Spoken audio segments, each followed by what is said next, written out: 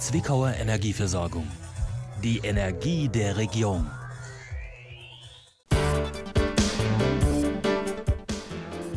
Schlossweihnacht, familienfreundlich, warm und kuschelig. Berufsfeuerwehr erhält zwei neue Kommandofahrzeuge und Eispiraten Grimmitschau vor harten Aufgaben. Tag aktuell, das regionale Abendmagazin.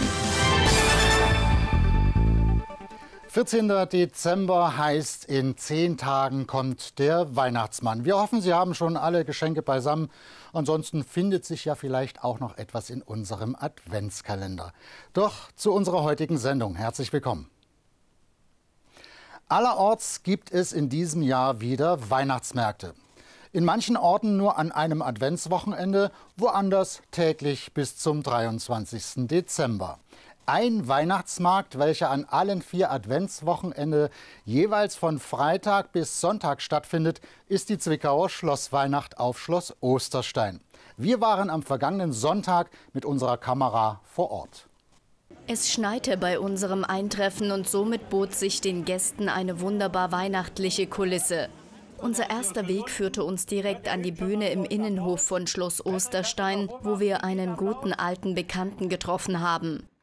Also einerseits bin ich als Geschichtenschnitzer unterwegs und dann arbeite ich ja auch äh, mit behinderten Menschen in der Stadtmission zusammen, also Diakonie Westsachsen jetzt. Und wir machen gemeinsam einen Club und da gibt es ein Zirkus Bucksterz, wo wir schon regelmäßig auf der Schlossweihnacht sind und ja, und wir, wir treten hier auf der Bühne auf und freuen uns da mal, ja, besonders auch so in der Öffentlichkeit ja aktiv zu sein und, und zu zeigen, was wir können und die Firma Kraus Event, die äh, gibt uns immer wieder die Möglichkeit, dass wir hier auftreten können. Und das ist uns eigentlich sehr, also wirklich sehr, liegt uns das am Herzen, dass wir das machen können. Und die freuen sich immer sehr drauf auf die Schlossweihnacht.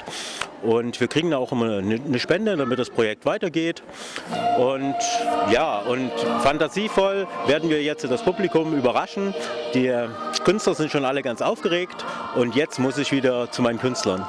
Was behinderte Menschen für wunderschöne Dinge gerade zur Weihnachtszeit herstellen, davon konnten wir uns am Stand der St. Mauritius Werkstätten überzeugen. Weshalb man hier gerne mit vor Ort ist, verriet uns Isabel Reinhold. Und zwar ganz einfach, dass wir auch präsent zeigen, was äh, überhaupt unsere Mitarbeiter alles leisten. Ist auch einfach so ein, so ein, ja, wie soll ich sagen, präsent zeigen, dass wir da sind und auch da, dass es solche Leute gibt, die auch sowas herstellen können, die auch ja, einfach was mitgeben. Welche Werkstätten sind das genau? Äh, wir jetzt direkt sind die St. Mauritius Werkstatt. Die ist in der Newtonstraße hauptsächlich vertreten. Und es gibt aber auch noch andere Werkstätten wie in Rheinsdorf und auch die Diakonie. Und ja, wir sind aber hau hauptsächlich hier jetzt vertreten. Die letzte Zeit Pandemie geprägt war ja auch gerade für diese Menschen ganz, ganz schwierig. Soziale Kontakte haben gefehlt. Und ich glaube, es ist schön, dass wir jetzt wieder zu einer Normalität ja. zurückkehren können. Auch, auch für die Mitarbeiter oder Beschäftigten sozusagen ähm, ist es sehr schön, dass sie wieder in der Werkstatt sind. Die Pandemie war sehr für viele sehr eingeschränkt und die sozialen Kontakte haben wirklich sehr gefehlt. Und deswegen sind wir jetzt besonders wieder froh, äh, arbeiten zu dürfen und auch teilweise sind die Mitarbeiter mit hier am Stand und die sind sehr erfreut darüber, auch wieder mit dabei sein zu dürfen. Ähnlich wie bei Dornröschen gibt es bei der diesjährigen Schlossweihnacht die Möglichkeit, mal einen Turm zu besteigen.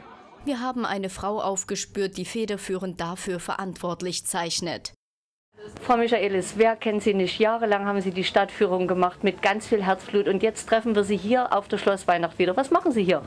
Ja, wir haben zur Schlossweihnacht eine wunderbare Führung und zwar äh, führen wir die Gäste über den Wendelstein zum Dachstuhl und dann weiter ins Turmzimmer und haben dort die Möglichkeit, nochmal zu erklären, wie das Schloss entstanden ist, welche wunderbaren äh, Renaissance-Bauten wir hier wiedersehen können.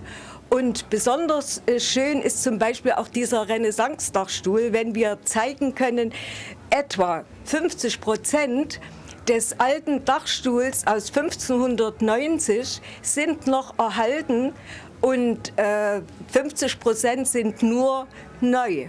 Also wir sind darüber sehr froh Und zum anderen können wir auch zeigen, äh, wie weit man vom Turmzimmer blicken kann.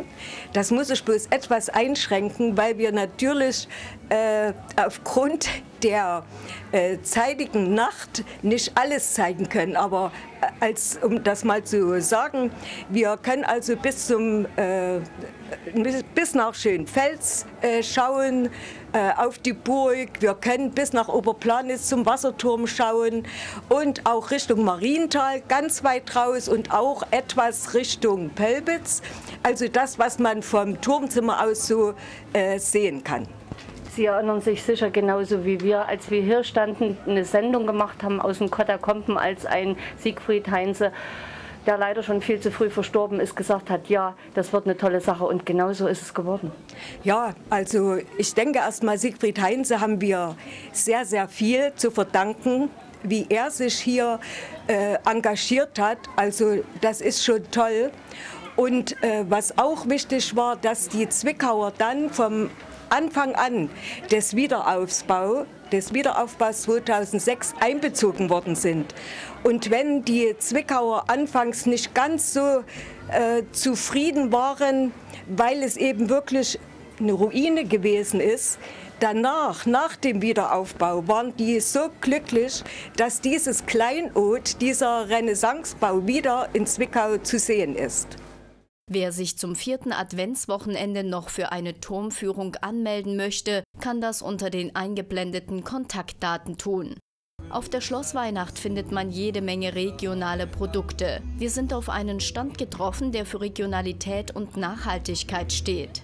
Wir sind die Vertreter für die Marktschwärmereien in Rheinsdorf und in Neukirchen an der Pleißer und wir haben hier das Sortiment unserer Schwärmerei mitgebracht, äh, um einfach mal zu zeigen, was es an regionalen Produkten alles gibt und ganz viele kleine Manufakturen, leckere Sachen, Öl aus dem Erzgebirge, äh, aus Krimitschau, ungarische Spezialitäten, Bier aus Glauchau, aus Rheinsdorf, wilde Spezereien, Wurst von Schwein und Schaf, also ganz viel Leckeres für täglichen Bedarf und für Besonderheiten und für kleine Geschenke. Ja. Wir sehen ja hier, die Leute können zum einen kosten, aber ja. auch kaufen. Ja, wir können hier auch mal kosten. Also heute haben wir gerade das Öl aus Drehbach, dort wo eigentlich die Krokusse auch blühen, immer so schön ja, da, das kann man heute kosten und an anderen Tagen sicher was anderes oder Gummibärchen aus der Fruchtsaftkälterei Mehlhorn. Ja, wir wollen halt äh, ja, nicht nur, nicht nur was zeigen, sondern also es soll auch gekauft werden heute. Sonst kann man online einkaufen, kann ganz einfach mit dem Handy auf dem Suchwasser den Warenkorb füllen und kann dann an einem Tag in der Woche bei den regionalen Erzeugern seine Produkte abholen. Das ist das Prinzip. Nichts wegwerfen, sondern nachhaltig sein für Bauern und auch für uns. Teilweise war es schon am Dialekt zu hören, es sind nicht nur Gäste aus unserer Region, die zur Schlossweihnacht kommen, sondern auch solche, die von weiter her den Weg finden. Wir kommen aus äh, Bad Oeynhausen und besuchen meine Schwiegermutter. Und jetzt wollten wir einfach mal auf den Weihnachtsmarkt in Zwickau gehen und haben ja vom Schloss gehört und jetzt sind wir hier. Wie gefällt es dir? Ganz gut, also bisher sehr schön. Schöner wie bei uns zu Hause. Es ist so diese familienfreundliche Atmosphäre, stimmt's? Ja, es sind sehr viele Kinder hier. Es gibt auch viele Sachen für die Kinder da hinten, habe ich eben gesehen. Und das ist prima. Ja, einen wunderschönen guten Abend. Sie haben sich hier gemütlich gemacht und Sie sind ja gar nicht aus Zwickau. Sie sind zur Schlossweihnacht hierher gekommen. Extra hier angereist. Aber ein bisschen auch wegen mir, ne? Ja, natürlich. Fast ausschließlich. So, diese Darbietung hier. Zauberhaft. Es gefällt Ihnen? Prima gemacht, das ja. ist wunderschön. Gut, sehr schön. Ja. Und ich kenne das auch sehr gut schon und bin heute zum wiederholten Mal hier. Und der Glühwein schmeckt auch? Feuerzangenbowle. Okay, dann lassen Sie es schmecken und Danke. schönen Abend noch. Ja, Ihnen auch. Schöne Weihnachten. Aber auch die Einheimischen wissen die Schlossweihnacht als Wohlfühloase zu schätzen. Ist ein bisschen anders als der andere Weihnachtsmarkt. Warum? Es gibt ein warmes Feuer. Und für die Kinder? Also ich finde es ja eigentlich ganz toll, weil man kann hier also, also manches Karussell fahren und so. Und es ist halt auch wirklich sehr schön warm an jeden Stellen. Kommen wir mal hier hinter zu Ihnen. Sie haben es hier in der Ecke gemütlich gemacht. Wie gefällt es Ihnen bei der Schlossweihnacht? Wunderschön, urgemütlich. Wunderschön. Das Flair ringsrum, das ist das Schöne. Man wird nicht durchgeschoben, man muss nicht drängeln, man kann verweilen. Richtig, richtig. Und wie schmeckt der Glühwein? Super. Ich habe einen Himbeerglühwein. Super lecker. Ja, ganz, ganz toll. Also für die Kinder super mit dem Stockbrot und dem warmen Feuer zum Aufwärmen jetzt hier. Also ganz tolle Sache. Und Sie kriegen das hin? Wir bekommen das hin. Wir müssen nur zuschauen, dass das nicht verbrennt hier. Deswegen muss ich gleich weiter. Gefällt's dir? Ja. Ja. Toll. Dann koste mal, da sind wir gespannt. Ja. Uns gefällt es sehr gut, ja. Ja. Das ist der Opa. Wunderbar. Okay. Und wie findest du das? Ich finde es auch schön. Hast du das vorher schon mal probiert mit dem Stockbrot? Ja. Und wie schmeckt das? Süß oder herzhaft? Beides. Beides? Ja. Und worauf muss man achten, dass es nicht verbrennt, ne? Ja. Dann machen wir weiter. Okay. Vielleicht nutzen ja auch Sie das letzte Adventswochenende und schauen auf der Schlossweihnacht vorbei. Werbung. Der TV Westsachsen Adventskalender. Die schönste Zeit des Jahres steht vor der Tür. Auch wenn in diesem Jahr alles ein bisschen anders ist, sollen Momente des Glücks und der Freude nicht fehlen. TV Westsachsen verschenkt gemeinsam mit seinen Partnern Glücksmomente in Form eines Adventskalenders. Vom 1. bis zum 24. Dezember öffnet sich täglich um 19 Uhr ein Türchen mit Überraschungen. Der TV Westsachsen Adventskalender für einen Lichtblick auch in schweren Zeiten.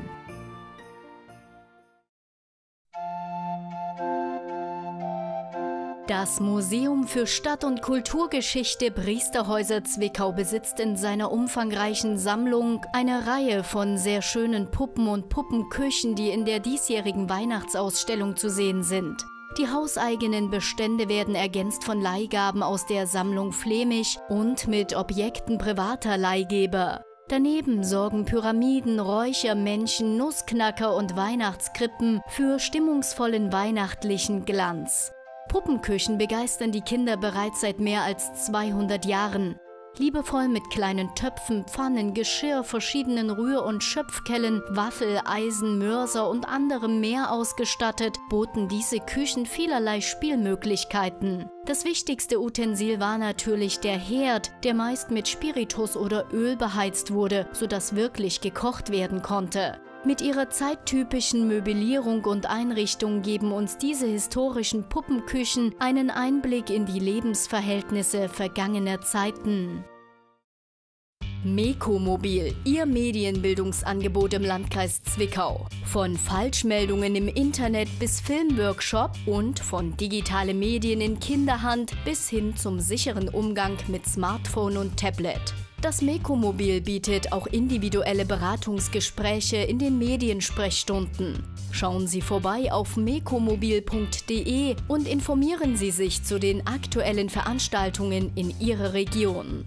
Seit mehr als einem Jahrhundert versorgt die Allianzgruppe ihre Kunden zuverlässig mit Versicherungen. Heute gehört sie zu den größten Anbietern auf dem globalen Markt. Die Nachfrage wächst und Mitarbeiter sind gefragter denn je. Die Allianz Hauptvertretung Hendrik Gerber in Wildenfeld sucht ab dem nächstmöglichen Zeitpunkt eine Kundenbetreuerin oder einen Kundenbetreuer.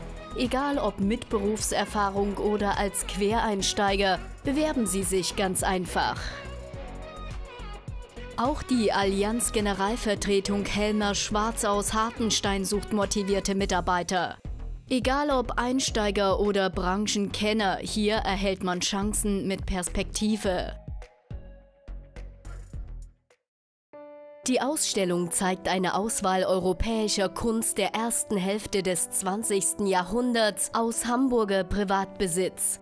Die bedeutende Privatsammlung von Gemälden, Aquarellen, Zeichnungen und Druckgrafiken von Künstlern wie Marc Chagall, Emile Nolde, Auguste Renoir, Erich Heckel, Karl Hofer und Max Liebermann tritt in Dialog mit einer Neuauswahl an Neuerwerbungen der Kunstsammlungen Zwickau Max Pechstein Museum der vergangenen Jahre.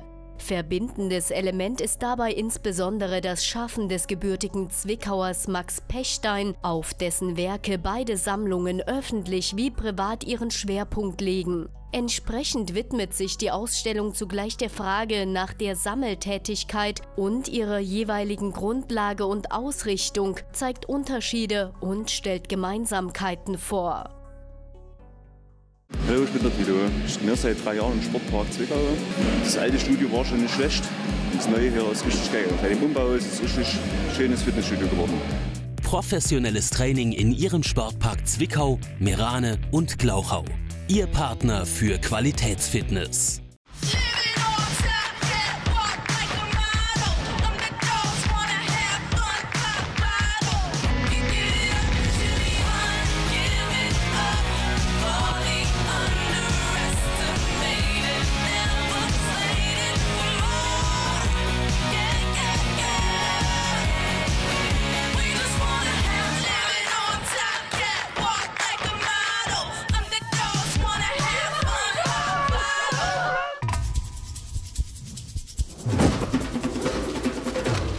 Zu schnell? Mit Turbospeed ins Internet. Wir verbinden euch leistungsstark und stabil. Auch im Kombipaket mit Festnetz und HDTV. Jetzt zum Testsieger wechseln und sechs Monate gratis sichern. Auf pure.com.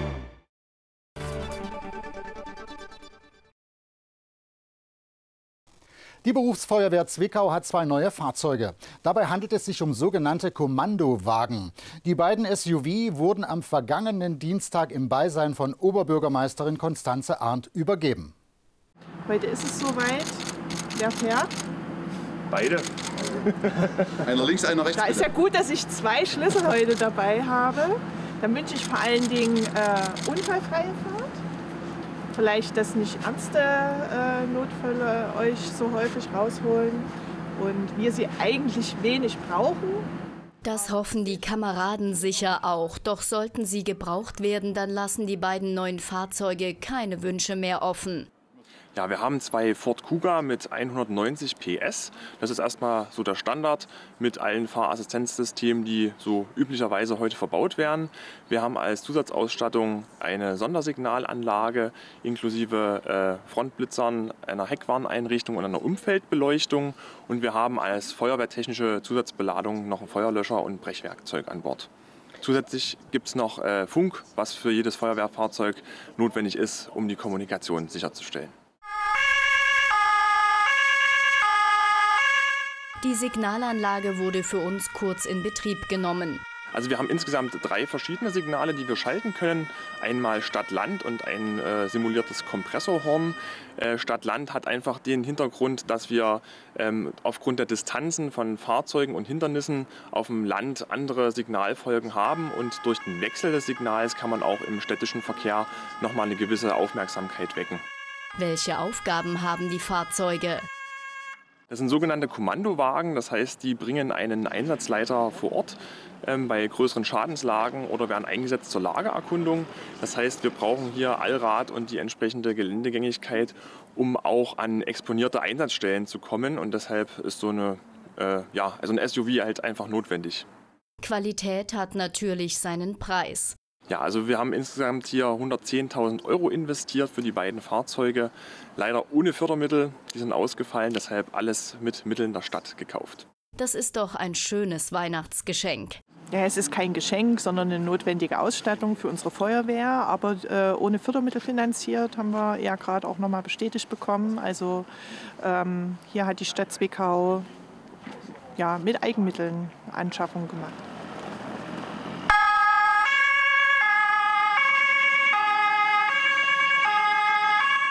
Die Oberbürgermeisterin überzeugte sich gleich mal selbst von den fahrerischen Qualitäten der Fahrzeuge.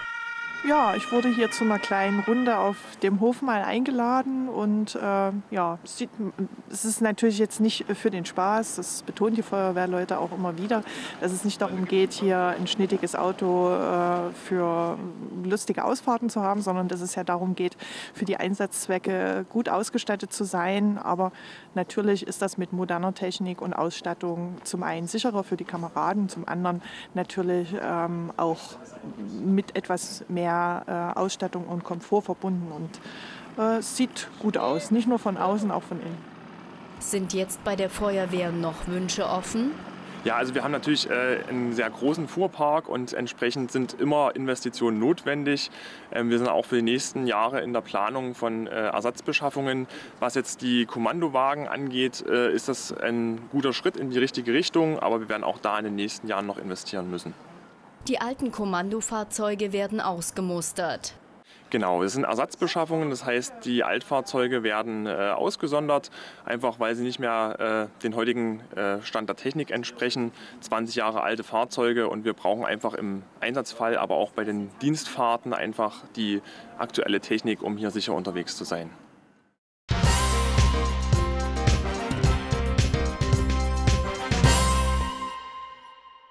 Die Eispiraten Grimmitschau haben ein durchwachsenes Wochenende hinter sich. Ein Sieg und eine Niederlage stehen zu Buche. Trotz eines deformierten Kaders konnten die Westsachsen am vergangenen Sonntag ein erfolgreiches Spiel in Bad Nauheim absolvieren. 5 zu 2 hieß es am Ende für die Schützlinge von Trainer Marian Basani. An diese Leistung möchte man nun auch am kommenden Wochenende anknüpfen. Beim heutigen Training waren wieder mehr Spieler auf dem Eis als beim letzten Spiel in Bad Nauheim. Auf dem Trainingsplan stand in dieser Woche noch einmal an Fehlern zu arbeiten, die man vor allem im Freitagabendspiel gegen Regensburg zeigte. Dennoch war der Trainer nicht unzufrieden mit dem letzten Wochenende. Ja, ähm, am Freitag gegen Regensburg äh, haben wir leider verloren, aber ich fand, wir haben äh, wir haben 50 Minuten sehr gutes Spiel gemacht, äh, gerade von, äh, von Anfang an. Erstes Drittel haben wir uns viele Chancen erarbeitet, äh, haben wir nicht viel äh, zugelassen gegen Regensburg im ersten Drittel. Und dann äh, im zweiten äh, gehen wir in die Führung ähm, und das, das, das hat uns nicht gut getan. Ne? Wir haben dann direkt danach ähm, nächste Wechsel aufgehört zu spielen und das waren die acht Minuten, zehn Minuten in dem Spiel, wo, wo ich nicht äh, sehr zufrieden bin und äh, da hat Regensburg äh, zwei Tore geschossen. Ähm, dann im letzten Drittel haben wir versucht äh, zurückzukommen, leider ist das uns nicht gelungen. Ähm, ja und dann äh, dann am Sonntag war das äh, ein harter Kampf. Wir, hatten, wir hatten einen sehr, sehr kurzen Line-Up, nur mit 14 Fe Feldspielern, aber die haben die haben richtig gefightet, äh, mit viel Energie gespielt. Äh, und äh, wir haben uns endlich mal für den Aufwand auch belohnt. haben wir fünf Tore geschossen. Ja, es ist, ja, es sind Up and Downs in der Saison jetzt momentan und wir, wir versuchen uns jetzt zu stabilisieren. Auch Routinier André Schietzold schätzte die beiden vergangenen Spiele noch einmal für uns ein. Ja, das auf jeden Fall am Sonntag hat sehr gut getan. Ich denke, nicht nur bei uns, sondern auch bei, ja, bei den Fans. Ähm, wenn man zurückblickt auf Freitag, ich denke, wir haben trotzdem ein gutes Spiel gemacht, haben es einfach versäumt, äh, die Tore zu schießen. Ähm, ja, und dann wirst du halt bestraft und äh, gehst halt als, als Verlierer vom Feld. Und äh, ja, das hat uns natürlich sehr äh, belastet. Und äh, ja, wir haben dann nochmal uns als Mannschaft zusammengesetzt und äh, haben nochmal ein paar Sachen besprochen. Und ähm, denke, wir haben am Sonntag die richtige Reaktion gezeigt. Nun steht wieder ein hartes Wochenende vor den Piraten. Am Freitag steht gleich die nächste Partie gegen den EC Bad Nauheim an, diesmal zu Hause im Sahnpark. Am Sonntag reisen die Eispiraten dann zu den Selber Wölfen. Also bis jetzt, äh, ähm, wir haben zwar ein paar Spieler wieder zurück im Training, aber die Entscheidung fällt äh, erst am Freitag, an dem Spieltag gegen, äh, gegen Nauheim. Ähm, ich hoffe, dass wir, dass wir da, äh, ähm, wie gesagt, ein paar Spieler zurückkriegen. Ähm, aber das wird sich erst am Freitag entscheiden. Ähm, ja, gegen Nauheim back-to-back, äh, -back, äh, die würden äh, bestimmt böse sein äh, nach der Niederlage am Sonntag. Äh, wir müssen uns äh, gut vorbereiten und ja, Nauheim wird uns alles abverlangen. Das ist eine schnelle Mannschaft, die haben ein schnelles Umschaltspiel. Ähm, ja, und am, am, am Sonntag in Selb, ja, das ist eine physisch starke Mannschaft, die sind groß gewachsen, die, die spielen hart. Da muss man gut da, da dagegen halten und äh, ist auch ein Derby, ne? ähm, da würden Emotionen im Spiel sein. Also müssen wir auch äh, mental äh, vorbereitet sein. Die Eispiraten stehen mit 28 Zählern noch ziemlich im Tabellenkeller. Das ist Ansporn genug, um weiter alles zu geben und in Richtung Mittelfeld zu klettern. Ja, wir müssen weiter so arbeiten wie am Sonntag. Äh, wir haben wirklich jeder für jeden gekämpft, wir haben geackert, wir haben äh, ja, einfach alles gegeben und äh, ich denke, das wird auch jetzt am Wochenende wieder der ausschlaggebende Punkt werden und ähm, ja, so müssen wir weitermachen. Los geht's am Freitagabend im Sahnpark um 20 Uhr, am Sonntag auswärts in Selb dann um 18.30 Uhr. Natürlich hofft man wieder auf zahlreiche Unterstützung der Fans. Ja, natürlich. Äh, wir wissen alle, dass es gerade eine schwere Zeit ist und äh, ja, aber gerade in den Zeiten muss man zusammenhalten und äh, ja, hoffen, dass die Fans wieder ja, zahlreich ins Stadion kommen. Werbung Zeit für einen Neuanfang. Hier. Entdecke attraktive Jobangebote aus deiner Region bei der Fachkräftebörse Zwickau am 27. Dezember. Ob Handwerker oder Pflegekraft, Techniker oder Ingenieur, Spezialist oder Quereinsteiger, hier ist für jeden etwas dabei. Komm vorbei am 27. Dezember von 9 bis 13 Uhr im Zwickauer Rathaus. Alle Infos unter zwickau.de slash Fachkräftebörse.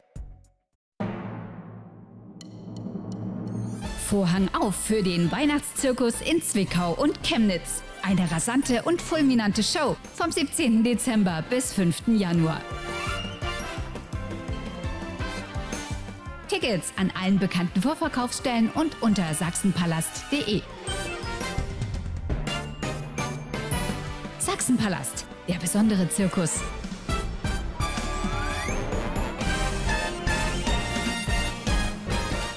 Ich schütze mich, weil Long Covid in keiner Sprache etwas Gutes bedeutet.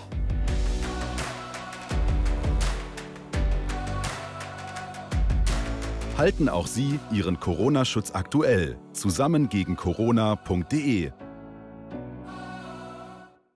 Treitschke.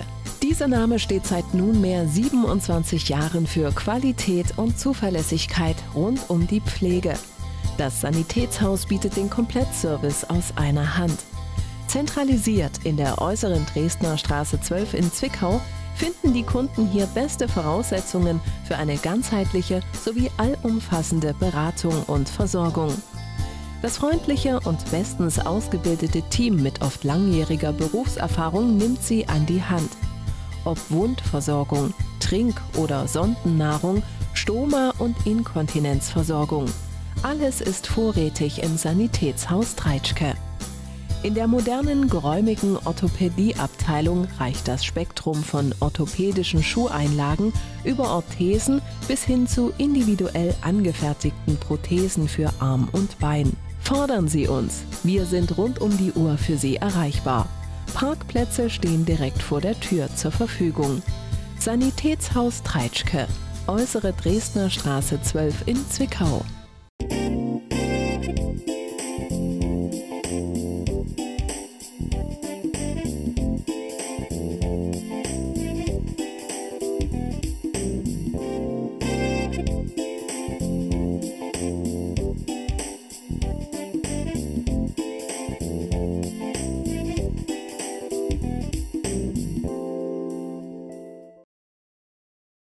Seine Leidenschaft ist das Wandern. Doch das wurde für Josef Bader immer beschwerlicher.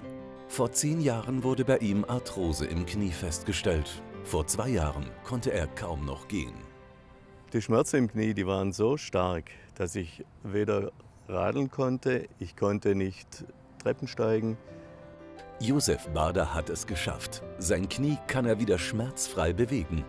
Geholfen hat ihm letztendlich